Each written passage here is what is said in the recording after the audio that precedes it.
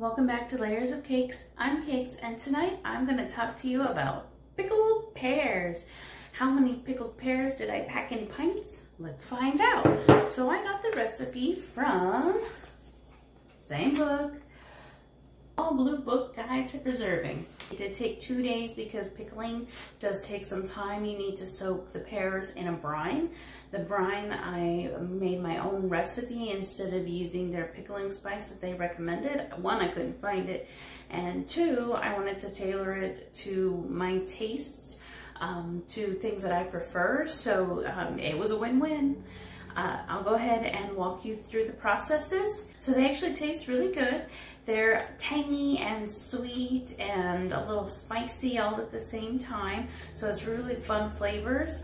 Uh, they melded together really nicely and after they had been pickled, I actually canned them. I ended up getting a little over eight pints of pears um, and I did have I made sure to get a lemon in each one uh, just for a little added flavor. And they look pretty cool. I like how they turned out.